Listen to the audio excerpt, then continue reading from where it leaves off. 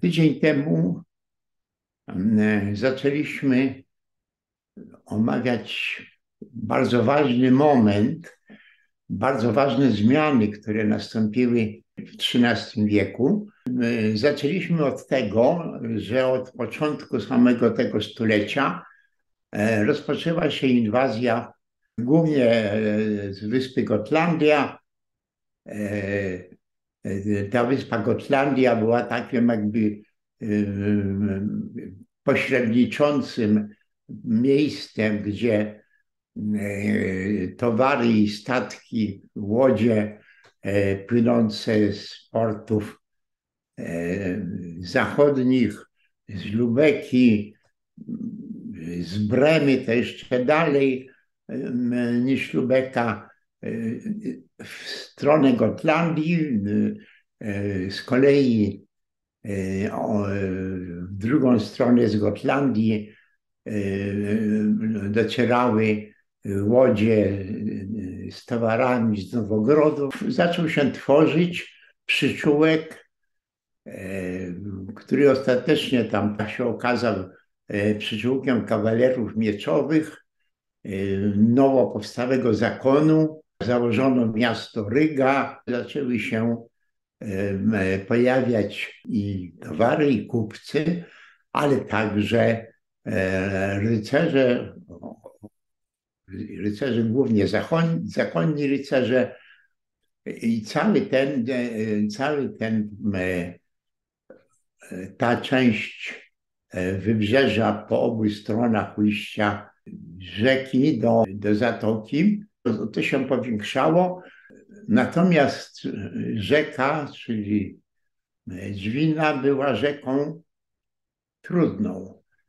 Nad tą rzeką, dość daleką od brzegu, był Połosk, główne miasto tej odmiany Normanów już,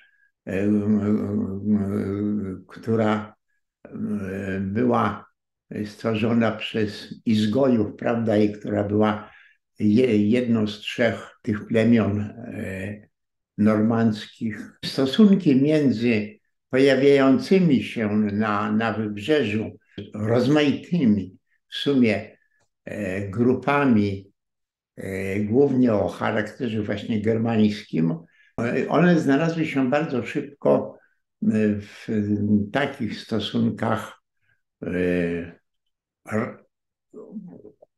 raz dochodziło do zderzeń, do wojen, ale bardzo szybko się godzono, wymieniano chętnie towary i tak dalej, ale trudno było też te towary dość wymieniać, ponieważ dźwina tym, w tej części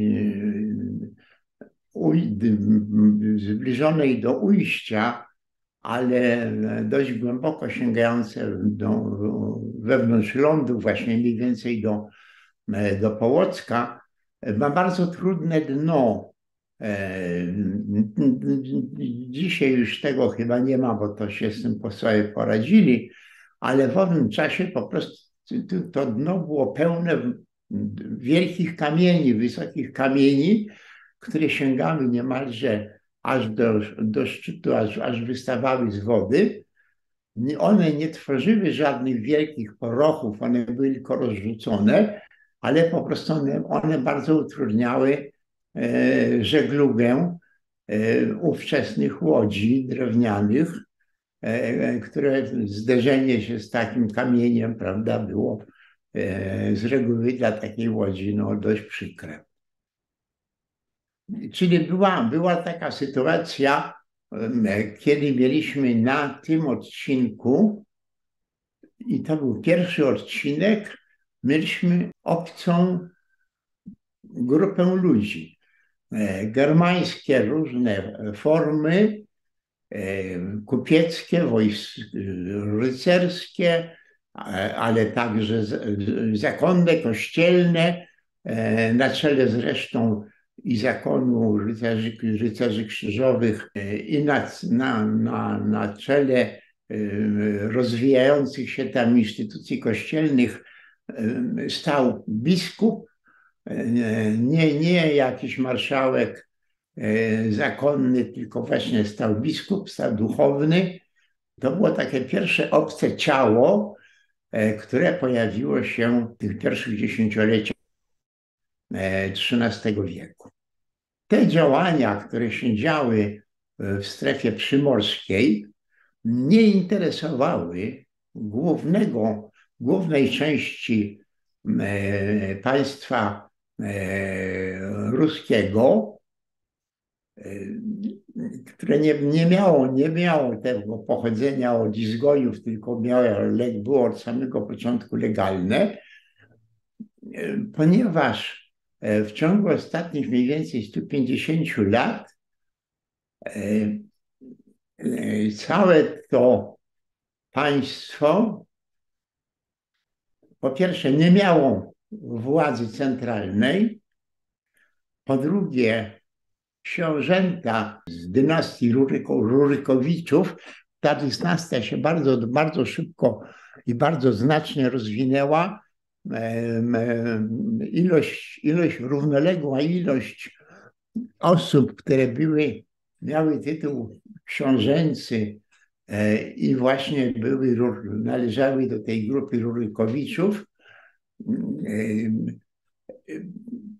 to ich znaczenie, e, ich znaczenie bardzo malało i oni byli właściwie traktowani tylko jako dowódcy wojskowi. I ci dowódcy wojskowi bardzo często walczyli między sobą przez cały XII wiek, aż do roku 1300 to tutaj to e, powiększenie ilości księstw była, było naprawdę ogromne. I ono spowodowało, że Ruś Kijowska stała się właściwie nie, e, nie odrębnym państwem, ale stała się takim państwem złożonym z samodzielnych jednostek. Nie było mowy, nie było mowy o zjednoczeniu, o zjednoczeniu całości. Pan mnie zapytał, e, dlaczego E, ja tak podkreślałem, że ta Ruś Połocka była taką Rusią jednolitą i tylko ona w razie czego stawiała opór Niemcom. A nie stawiała, a, a Ruś Kijowska nie stawiała tego oporu. Właśnie dlatego, że Ruś Kijowska była tak bardzo podzielona, że walczyła sama między sobą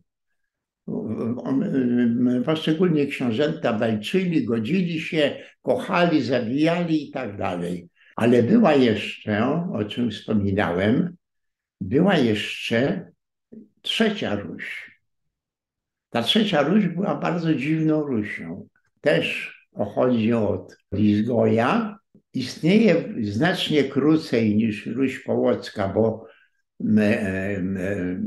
nazywa się Rusią Halicką, niewiele więcej niż przez, przez stulecie e, funkcjonuje i jest wyróżniająca się, mianowicie e, ma, ma kolejnych właściwie tylko sześciu władców. E, obie wcześniejsze Rusie miały takich władców znacznie więcej ale ma także bojarów.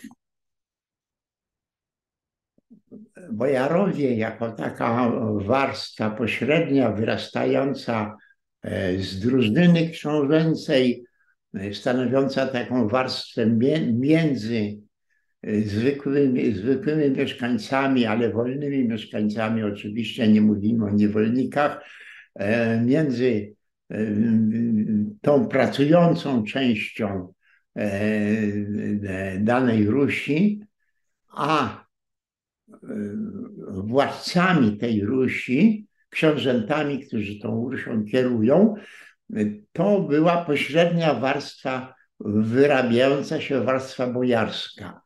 I ta warstwa bojarska w owym czasie i w Rusi Połockiej nad Dźwiną, i w Rusi kijowskiej, to ta warstwa bojarska była warstwą dość posłuszną, czy nawet bardzo posłuszną, nie buntującą się zupełnie. Natomiast w Rusi Halickiej która powstała w ten sposób, że względnie, względnie nieliczni Normanowie i Zgoje po prostu zdobyli na, w zasadzie pustkę, czy prawie pustkę ziem leżących na, przy samych Karpatach, wokół stworzonego przez nich miasta, czy też stworzonych przez nich miast, z tych miast właściwie najstarsze które istniało, to był Przemyśl, bo ten Przemyśl jest wspomniany już w X wieku, ale głównym miastem był Halicz, ważnym miastem był Tarnopol. Ilość, ilość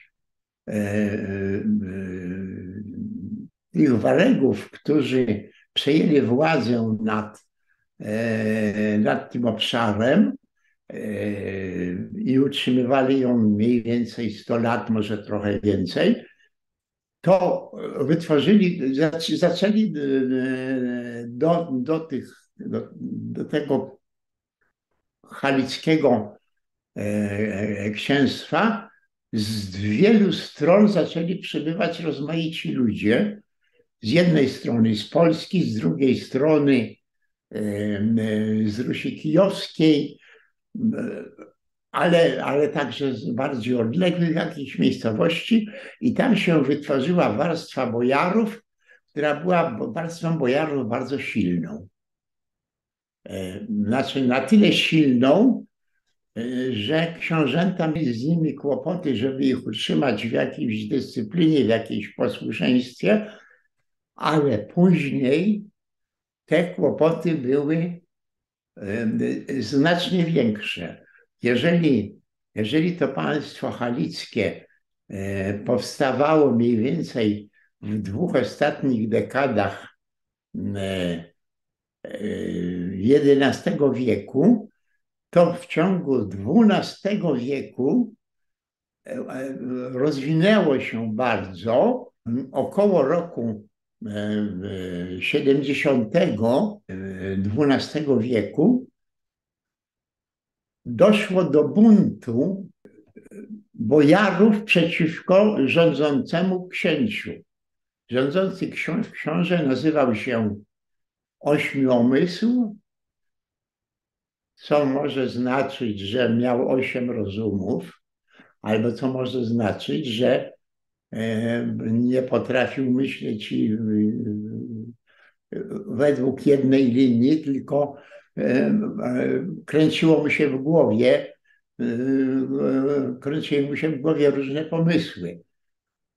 Prawdopodobnie, prawdopodobnie ten drugi domysł jest domysłem, jest domysłem słuszniejszym. E, ponieważ w tym państwie halickim, wtedy w latach 70., z tych bojarzy się buntują. Bunt polega na tym przede wszystkim, że księcia ośmiomysła się e, zamyka do więzienia, a jego kochankę pali na stosie a równocześnie jego legalną żonę, którą wygnał gdzieś do Kijowa czy gdzieś, jego legalną żonę ściąga się, ściąga się na, e, na Ruś Halicką i jej się oddaje władzę, zakładając prawdopodobnie, że jeżeli kobieta będzie, e, taka kobieta, która się dała wypędzić w dodatku, e, jeżeli się będzie głową państwa, to ci bojarzy będą rządzić. Tak też prawdopodobnie było. E, po jakimś czasie wypuszczono wprawdzie ośmiomysła z więzienia, tylko że on nie miał już, nie miał już jakichś takich szerszych, szerszych kompetencji. Miał E, dwóch synów. Jeden syn E, to był właśnie dziecko kochanki z nieprawego łoża i to był jego syn ukochany, a synem takim nielubianym to był jego właściwy syn, e, który się urodził z jego legalnej żony. Tego rodzaju historie latopisu opisują. I właściwie tylko podzielił e, tą ziemię halicką między tych dwóch synów, E, jeden dostał ziemię na zachód od Przemyśla, drugi dostał ziemię na wschód od Przemyśla. Wmieszali się w to pobliscy Węgrzy, wmieszali się w to Polacy, książę Le, Leszek Biały. Ośmiomysł umarł tuż przed, e, przed rokiem 1200 a ci, a ci synowie przeży, przeżyli go bardzo, bardzo niedługo i tak się skończyła Ruś Halicka.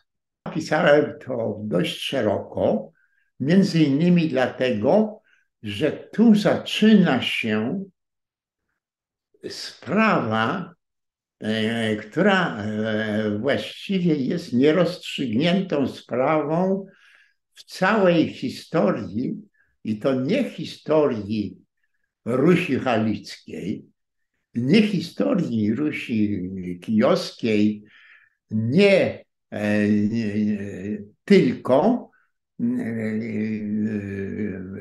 przede wszystkim historii Cesarstwa Rosyjskiego. E, I, I jest żywa do dzisiaj. Jest żywa do dzisiaj. Otóż podobno Moim zdaniem jest to e, nieprawdziwe, ale podobno. E, w tym czasie albo ośmiomysł, albo jakiś, właściwie nie, nie tylko ośmiomysł, ale jakiś e,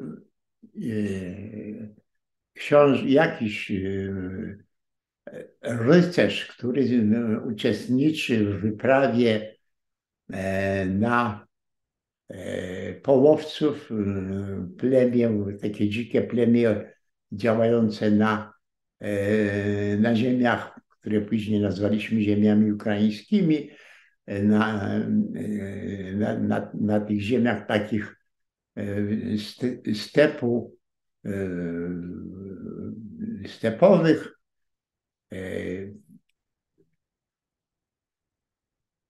To podobno jakiś taki facet napisał w owym czasie książkę poemat niejaką, a mianowicie słowo o pułku Igora. Pojawia się pod koniec panowania Katarzyny II parę lat przed rokiem 1800.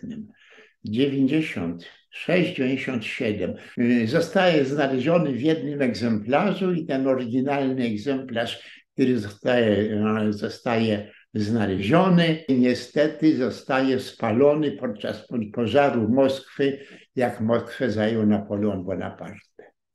Ale na szczęście wcześniej sporządzono dwa odpisy. Jeden odpis odda- przekazano cesarzowej Katarzynie, a Katarzynie II tuż przed jej nagłą śmiercią. Nie bardzo się tej śmierci spodziewali, ale nawet jest wątpliwe, czy ona zdążyła to przeczytać. Może zdążyła, może nie zdążyła, w każdym razie w jej papierach było i później w ich tych papierach znaleziono.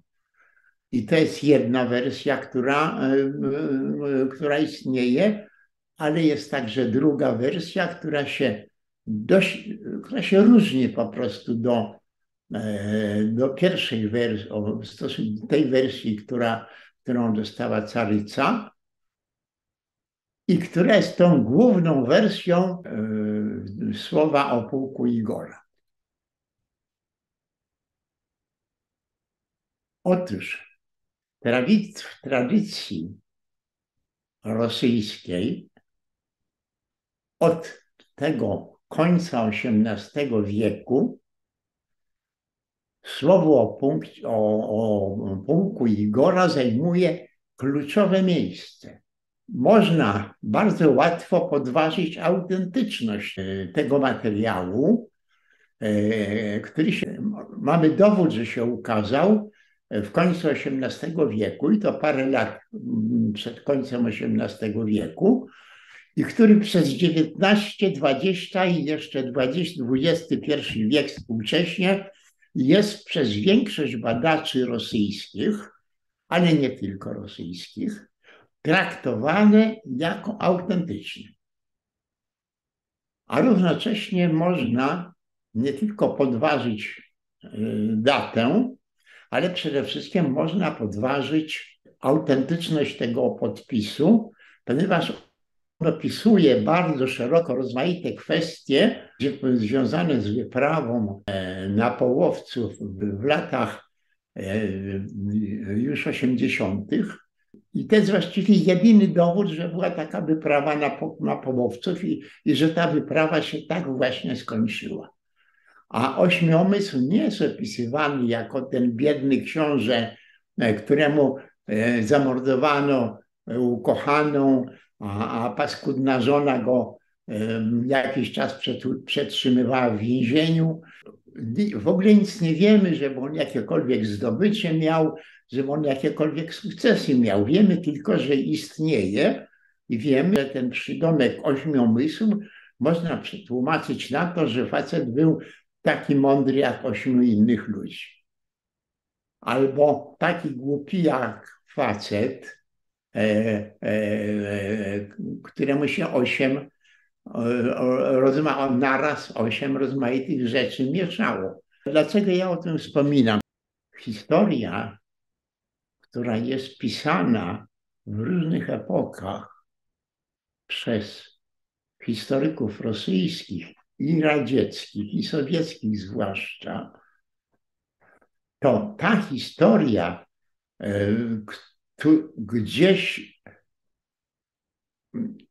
odbija się na całej literaturze wcześniejszej, na całej pisanej, y, pisanych materiałach, które ocalały wcześniejszych wieków, do czego dochodzą badacze, zwłaszcza XIX i XX wieku, ale także XXI wieku.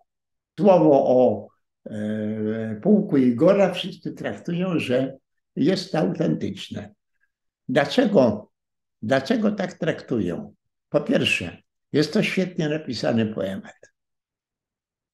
Jest to, jest to naprawdę e, poemat wysokiej klasy, jak na wiek XVIII. Po drugie, pojawia się jeszcze taka dziwna historia, e, że w roku 1950, kiedy stalinizm w Polsce zaczął, e, że tak powiem, przybierać bardzo groźne formy, wybitny poeta polski Julian Tuwim postanowił przetłumaczyć go na polski i przetłumaczył go na polski i ten, i to słowo o pułku Igora e, w języku polskim jest po pierwsze, oryginał jest literacko bardzo, bardzo dobry, ale wiersz e, polskiego poety jest jeszcze lepszy.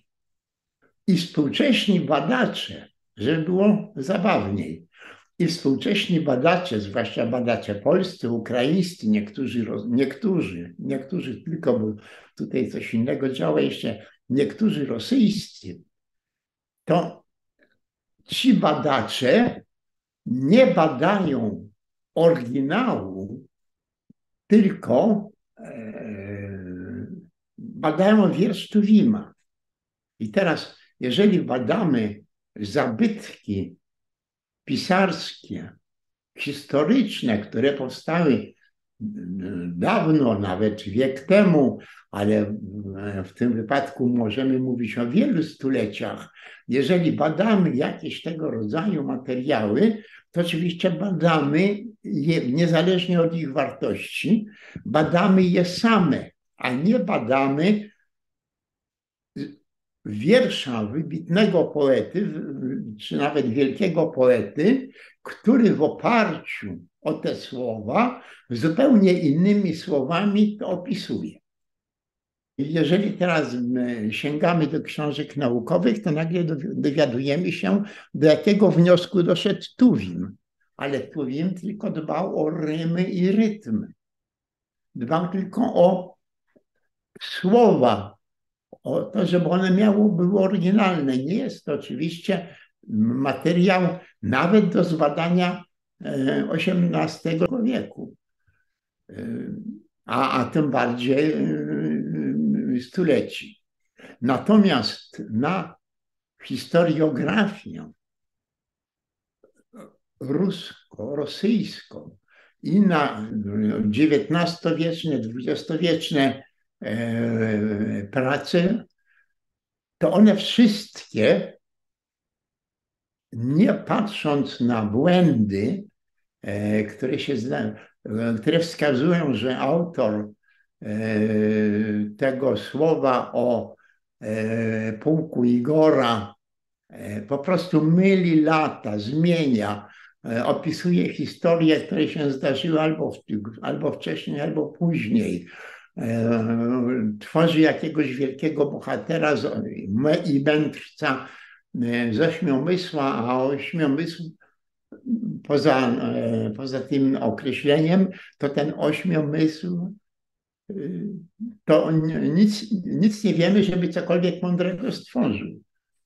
Nic nie wiemy, żeby jakąś wojnę wygrał. Nic, nic takiego nie ma. Wiemy tylko, e, że wyrzucił żonę i ją zdradził. Wiemy, że zakochał, że kochankę mu zamordowali. Wiedział, że go bojarzy wsadzili do więzienia, a ci bojarzy byli rzeczywiście, właściwie stali się tam rządzącą warstwą, w przeciwieństwie do bojarów wszystkich innych książąt, e, wszystkich innych książąt ruskich, to była jedyna, e, jedyne księstwo, które miało, e, które miało właśnie takich samodzielnych bojarów to, to się wszystko niejako pomija. Niejako się pomija i e, doszło na przykład do takich zderzeń, e, że wkrótce po upadku Stalina, e, kiedy Chruszczow przejął władzę nad Związkiem Radzieckim, można było, w każdym razie poet, poeci, literaci mogli pisać co tylko chcieli, było tak, takie parę lat wtedy było. Jeden e, z ówczesnych pisarzy radzieckich, radzieckich stwierdził, że on tutaj właśnie przygotowuje książkę, która udowodni, że e, słowo o pułku Igora to jest po prostu falsyfikat z końca XVIII wieku. I ten jeden człowiek nagle stał się przedmiotem ataku wszystkich innych literatów, nie tylko poetów, nie tylko tych, którzy się zajmowali jakąś poezją o, o jakiejś większej tradycji, starszą i tak dalej. To jest świętość. Po prostu słowo o pułku Igora stało się świętością. Małą tą świętością jest do dzisiaj. Jeżeli będziemy brali jakieś e, książki wydawane współcześnie w ostatnich latach, to się w każdej będziemy dowiadywali, e, że to jest właśnie pochodzi ze wspaniałego poematu napisanego paręset lat wcześniej, słowo o pułku Igora. To jest wspaniałe i będziemy badali to w wydaniu Tuwima jeszcze. Wszyscy, nawet ukraińscy pisarze się odwołują, ale jakiś, jacyś rosyjscy też odwołują się do, do Tuwima. I co to znaczy? My historię rosyjską znamy z najrozmaitszych zapisów, ale te zapisy w ogromnej większości zostały opracowane w XIX i XX wieku, zostały opracowane naukowo w tych stuleciach I jak my je dzisiaj czytamy, te, te pełne opracowania, to wszędzie pewnikiem jest, że słowo o punkcie Igora to jest autentyczne. Otóż nie jest autentyczne. Nie może być autentyczne. Nie może być autentyczne, ponieważ jest w nim za dużo błędów. A, a po drugie, no, jak udowodnić, e, że dopiero e, gdy cesarzowa Katarzyna stwierdziła, że takie wielkie mocarstwo jak Rosja, e, jak cesarstwo rosyjskie, to takie wielkie mocarstwo musi mieć odpowiednią historię. I tą historię trzeba napisać. I dojdziemy do tego, kiedy się tą historię napisało. Ale to jest koniec XVIII wieku.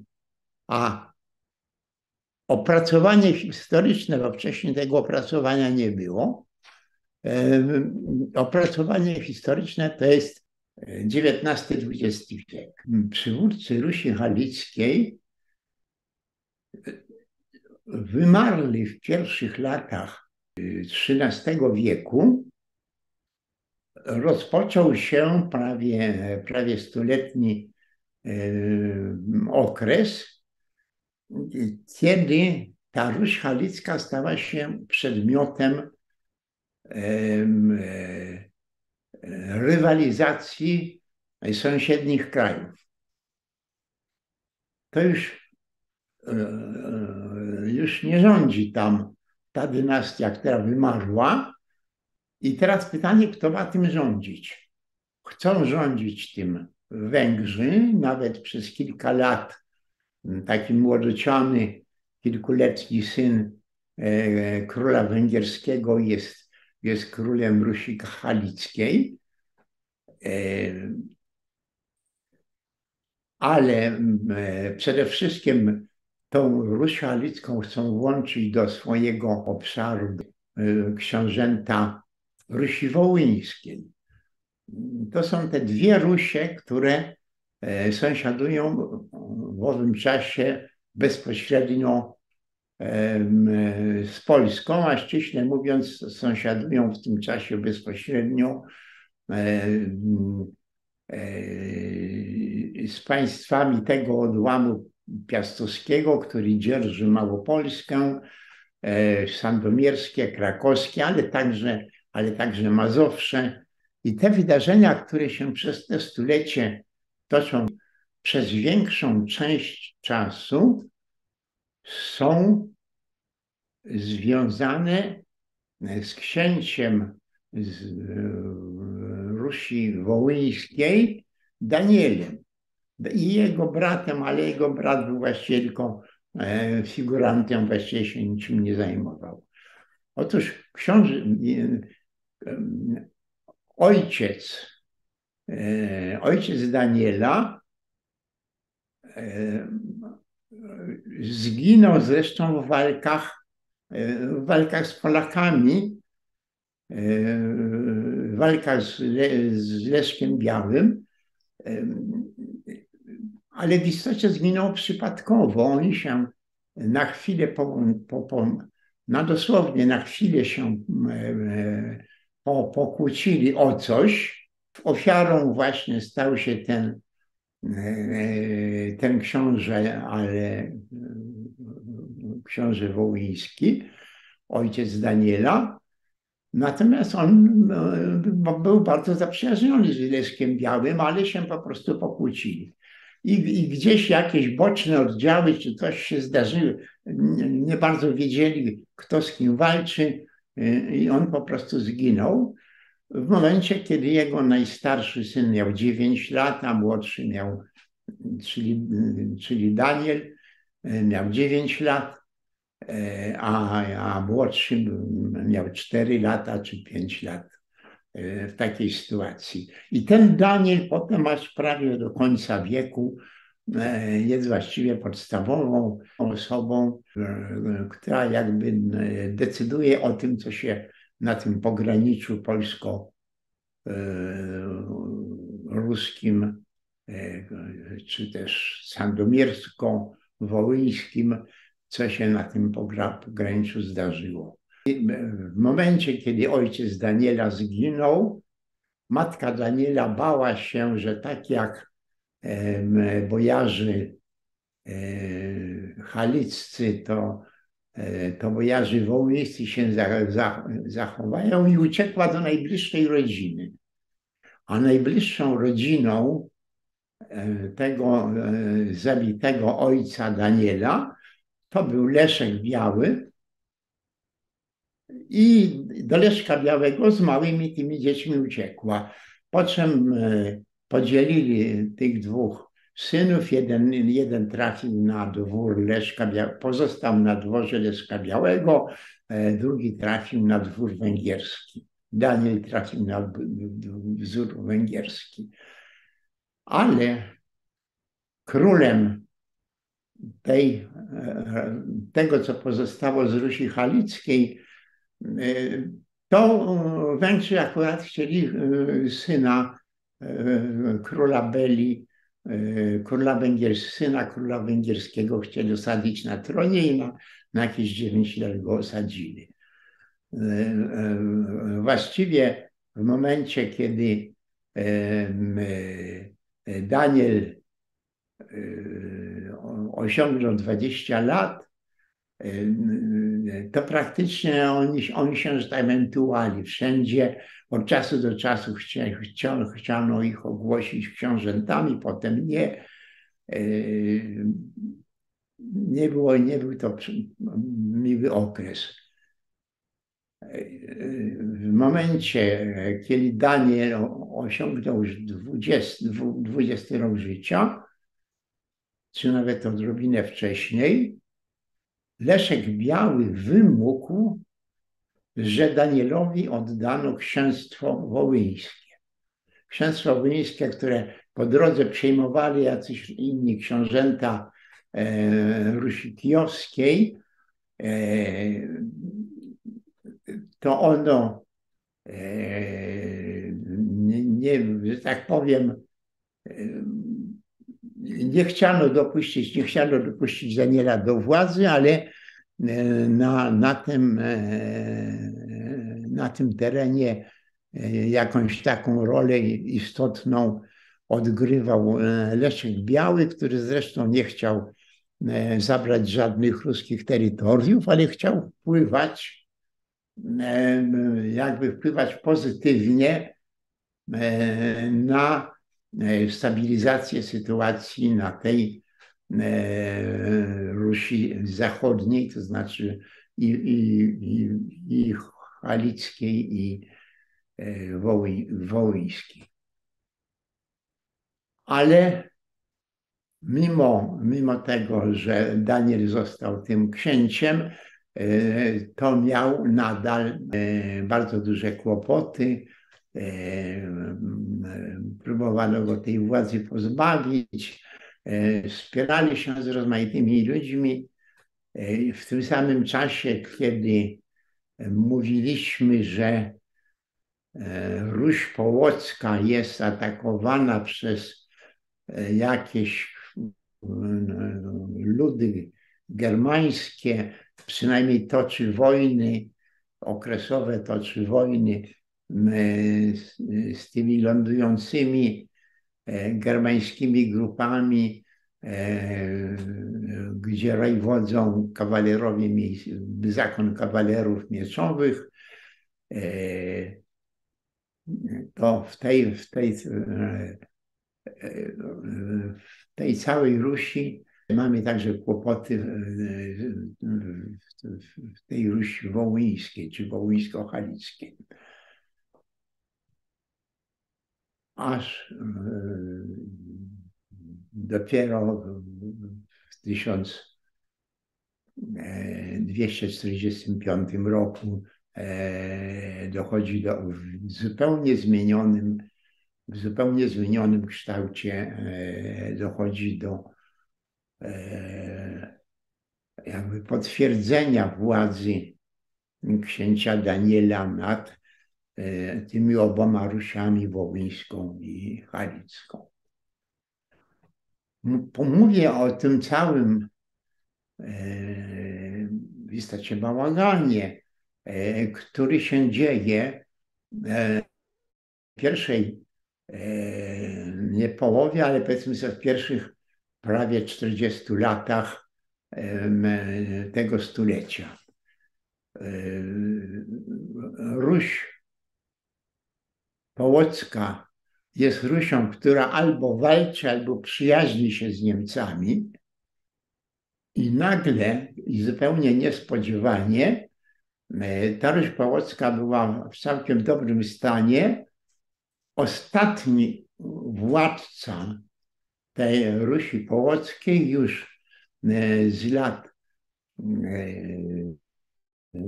40., e, dlatego o nim wcześniej nie mówiłem, zmarł bezpotomnie.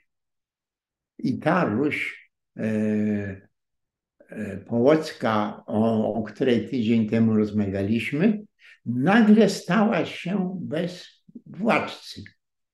Skorzystał z tego twórca pierwszego właściwie państwa litewskiego, do tego jeszcze dojdziemy, który na, na miejsce rodowitego księcia e, wysłał swojego litewskiego kuzyna, który nagle stał się księciem, e, litewski książę stał się nagle księciem połockim. W ten sposób po prostu ta dynastia Rusów połockich, po prostu Rysinów połockich wygasła nagle. Co jeszcze bardziej zwiększyło cały bałagan. Popatrzmy, co się, co się w tym czasie dzieje. Albo w końcu poprzedniego stulecia jeszcze, e, wtedy, kiedy się odbywają te wszystkie awanturki, awantury z ośmiomysłem, albo w tych pierwszych latach, e, dziesiąt, pierwszych dziesiątkach lat tego następnego wieku, kiedy oba, oba, oba, obie te Rusie i, i Halicka i Wołyńska e, no, są jak w wiecznym ruchu, e, a równocześnie nie są w stanie stworzyć jakiejś jednolitej władzy. E, a wreszcie sama Rusz Kijowska zarządzana jest przez ogromną ilość miast, ogromna to znaczy parę dziesiąt, ogromną ilość miast, e, które się same rządzą albo same się próbują rządzić i korzystają z usług książąt, którzy właściwie e, e, tylko zapewniają ich obronę. Jest to całkowicie, całkowicie zdezorganizowany, zdezorganizowany obszar. I wtedy co następuje? I wtedy następuje inwazja mongolska. Mówiliśmy przed tygodniem o początkach tej inwazji, kiedy tylko niejako tak na, żeby obejrzeć na stepy późniejszej Ukrainy e, wkroczyły oddziały e, przybyłe, zresztą przybyłe okulną drogą po wschodniej i południowej stronie Morza Kaspijskiego i potem e, z południa Morza Kaspijskiego przez Kaukaz e, doszły do Donu, a, a z Donu do rzeki Don, a, a z Donu trafiły na, trafili ci te ludy mongolsko-tureckie, wojsko, wojsko mongolsko-tureckie, zorganizowane doskonale wojsko mongolsko-tureckie, trafiło potem na Krym. E, na Krymie wsparło e, kolonie e, weneckie, które były znakomitym odbiorcą chińskiego jedwabiu, a zlikwidowały równocześnie wymordowały i, i spaliły miasta, e, które były koloniami Genui, genuińskimi. E, także usunięto zupełnie konkurentów I równocześnie, ponieważ się pojawiła e, jakaś grupa e, złożona częściowo z, z tubylci wojska, częściowo z przygranicznych jakichś książąt Rusi Kijowskiej, z samej Rusi, dosłownej Rusi Kijowskiej nikogo nie było, ale powiedzmy z, z sąsiednich tak, zostało rozbite, zostało przegrane. Ci, ci Mongołowie, Tatarzy, tak jak ich, tak jak ich tutaj określano, w sumie chyba reprezentowali e, większą ilość grup e, takich wędrownych, e, wędrownych grup pasztelnych, które krążyły po dzisiejszej południowej Syberii, tam, gdzie, gdzie były jeszcze dobre, dobre pastwiska, nie, a nie, a nie w okresie tam, gdzie były śniegi. Przywódca jednego z tych plemion, czy jednej z tej grup, takich wojskowych, Temurdzin, e, później przybrał tytuł Dżingis Hana, czyli naczelnego Hana, najwyższego Hana, ale to na względnie niedługo przed śmiercią. E, przedtem był tylko Temurdzinem.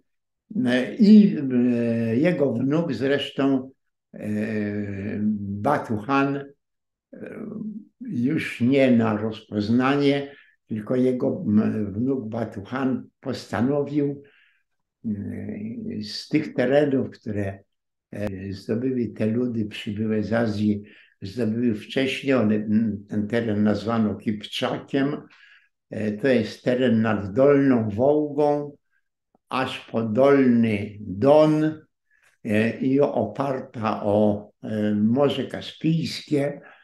E, w tym rejonie, w tym rejonie te, te grupy, które właśnie zaprowadziły bardzo taki krwawy porządek na Krymie i które pokonały bardzo łatwo zresztą jakąś wyprawę z południowych okręgów Rusi Kijowskiej, e, to ten, ta grupa pozostała właśnie tutaj, stworzyła ten Kipczak między, między Wołgą a Donem. Przybył tam Batuhan i przygotował się do inwazji na zachód. O co, o co tutaj chodziło? E, e, historiografia i rozumie, i nie rozumie, o co tutaj chodziło.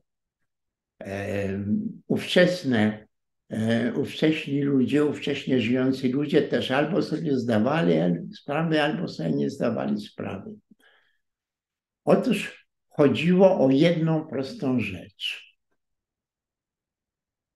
stworzona przez Temujina stworzone potężne państwo.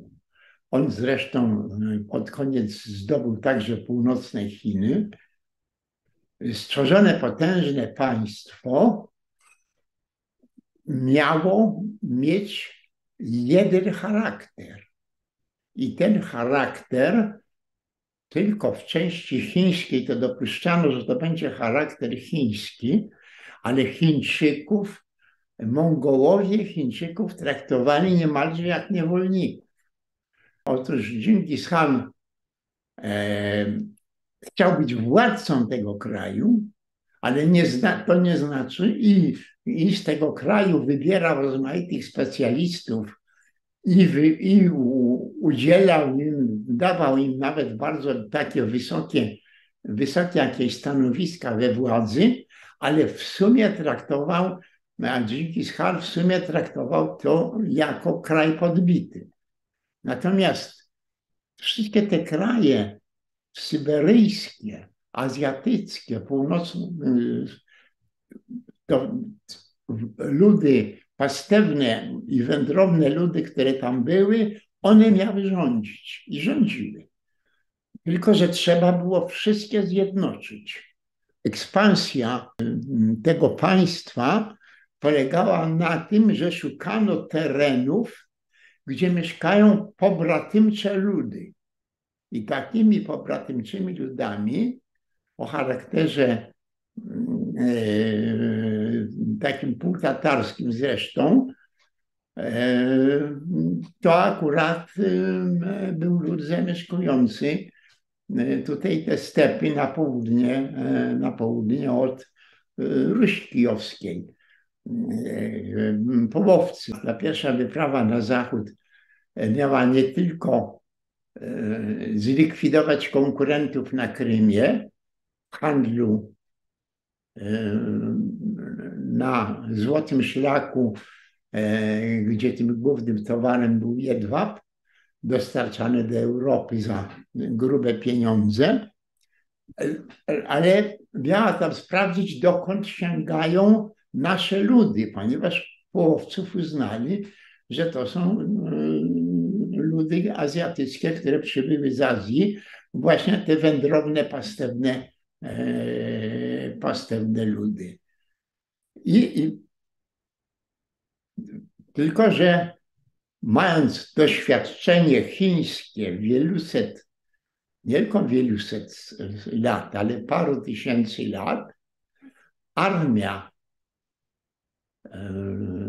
także armia Batuhana, ale i wcześniejsze, każda armia przed sobą prowadziła szpiegów. Czy może, może lepsza nazwa byłaby wywiadowców. Coś takiego. Oni nie tylko e, rozpoznawali teren, który był, e, gdzie, gdzie się te oddziały wojskowe e, mongolsko-tureckie zbliżały, to znajdowali drogi, którymi powinni iść, którymi powinni przejść spokojnie i tak dalej, ale także badali, kto tam mieszka, co robią, gdzie są jakieś miejscowości i tak dalej. Prowadzili pełen taki wywiad. Ci Mongołowie, którzy tam w 1223 roku z tą wyprawą tam weszli i potem rozbili E, wojska e, ruskie, e, to oni dokonali rozpoznania, nie tylko rozpoznania w stronę Dniestru, sama ta armia doszła tylko do, do Dniepru, ale rozpoznanie mieli do Dniestru. Rozpoznanie do Dniestru wykazało, że rodzima ludność ucieka na Węgry. Także oni wiedzieli, że są jakieś Węgry i tam, i te Węgry to jest, zamieszkuje jakiś, jakiś lud, który należy do tej samej grupy. Ale także sprawdzili, dostając się na północ, na, na północ że Ruś, która była Ruś Zaleska, ta Ruś, która była e, położona już między Wołgą a, a Oką, e, na, na samym zachodzie e, do rzecza, do rzecza Wołgi, że tam miejscowy lud to też nie jest lud obcy, a ludem obcym jest lud słowiański. Rozpoznali tych Słowian również, ale że podstawowy lud, i to, jest, to była prawda, jest to lud, który przybył tu z Azji.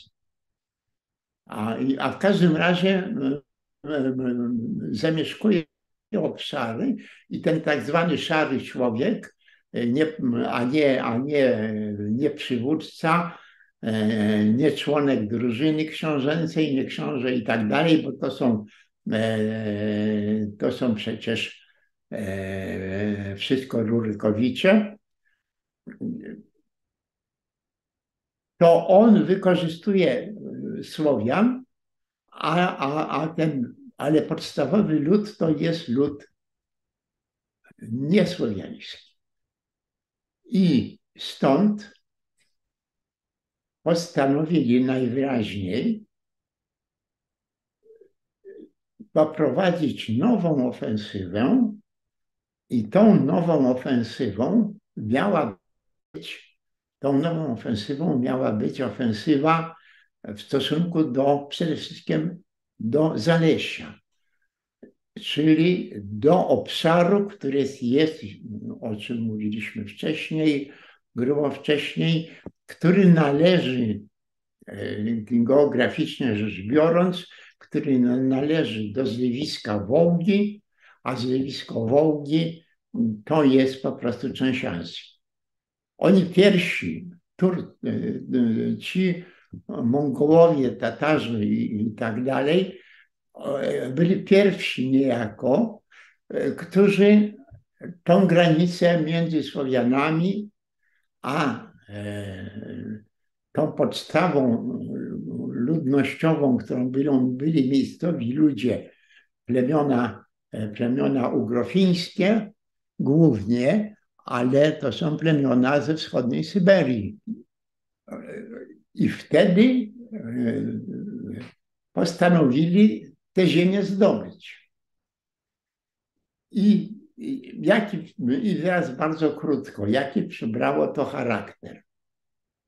Najpierw pamiętajmy o tym całym bałaganie na Rusi, o którym mówiliśmy. Od, od Rusi Halickiej na, na południu, po Rusi Połocko na, na, takim, na, na zachodzie, e, po Nowy, Nowogród na północy. Tu wszędzie jest, wszędzie, wszędzie jest daleko posunięty bałagan. Ja, natomiast nadchodzące te wojska mongolsko, mongolsko-tatarskie są doskonale, w pełni zdyscyplinowane, w pełni zorganizowane. I one w końcu 30, w grudniu 30, 1237 roku te wojska wkraczają na Zalesie. Najpierw zajmują wysunięty na południe na wysunięte na południe miasto Riazjan. Ten Riazjan po, po siedmiodniowych walkach ten Riazjan zdobywają e, i całą tą wierchuszkę, która jest wierchuszką e, czy słowiańską, czy, e,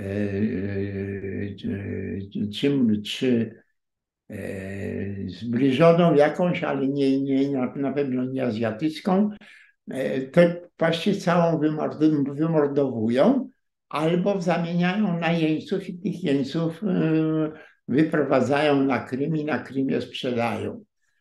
To jest w tym, w tym roku 37 zdobywają po prostu ten.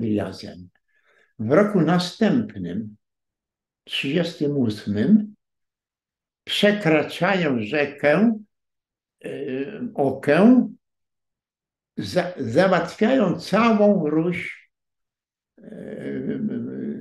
Zaleską, którą później nazwano Rusią y, Moskiewską, ale w owym czasie jeszcze się tak nie nazywała. I tam takie miasta jak Włodzimierz na przykład, to jest miasto wysunięte na wschód, E, miasta, miasta wysunięte bardziej na zachód, Twer i tak dalej. Wszystkie te miasta albo zdobywają w ciągu stycznia, lutego, marca, trzech miesięcy, zdobywają całą, e, całe Zalesie. I albo spotykają się z oporem, tak jak we Włodzimierzu, i wtedy ten Włodzimierz cały niszczą a, a, a ludność w znacznej mierze mordują. Ale nie całą ludność. Ludność ta, która, jest, która ma źródła azjatyckie, ta ludność, e, która jest na Zalesiu, nie, nie, nie, to nie są przybysze nie są przybysze z Rusi Kijowskiej, tylko ta, ta ludność rodzima, a więc ludność pochodzenia e, syberyjskiego, to e, prawie ich nie ruszają, natomiast, natomiast resztę mordują. I pierwsza, e, pierwsza ta wojna, która się zaczyna w grudniu poprzedniego roku, a potem jakieś trwa jakieś trzy, trzy miesiące, może trochę więcej, po prostu zajmują całą Ruś, e, całą tą e, Ruś Zaleską. Ponieważ mają informację, że istnieje jakieś, jakieś wielkie takie miasto, które się nazywa Nowogród, to zaczyna, zaczynają iść w kierunku Nowogrodu i zatrzymują swoją, swój marsz w kierunku Nowogrodu. Dlaczego? Dlatego, że nagle zmieniła im się podstawa ludności. To nie są już plemiona azjatyckie, to są już plemiona słowiańskie. A oni, ich Słowianie nie interesują. Ich interesują tylko ich pobratymcy. Więc oni się wtedy cofają, nie idą na, południowy, na północny zachód, przechodzą na południowy zachód wychodząc z Rusi Zaleskiej idą, idą w kierunku Kijowa i zatrzymują się dlatego, że dochodzą im wieści, że na terenie Kipczak, Kipczaku, czyli tych ich ziem przy Morzu Kaspijskim, Dolnym, Dolnej Wołdze i Dolnej, e, Dolnej Wołdze i Dolnym Donie, że tam jakieś e, obce plemiona przyszły i tą ich ziemię, e, rabują tą ich ziemię. I po prostu już wychodzą, już po wyjściu z Zalesia, z Rusi Zaleskiej, zawracają i błyskawicznie wracają do siebie. I e, w drugiej połowie tego roku i w następnym roku rozprawiają się z tamtymi, rozprawiają się z tamtymi bandami, bo takich można określić, takimi rabunkowymi bandami i z przywróceniem po porządku. Zajmuje im to właściwie cały rok, e, cały rok następny. I na tym na razie skończmy.